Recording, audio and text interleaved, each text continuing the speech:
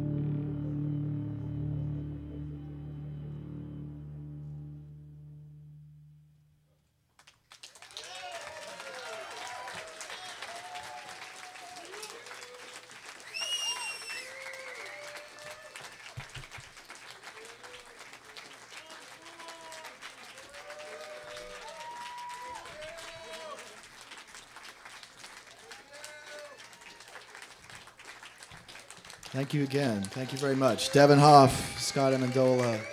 Thank you me. I brought some CDs if you want to talk to me later.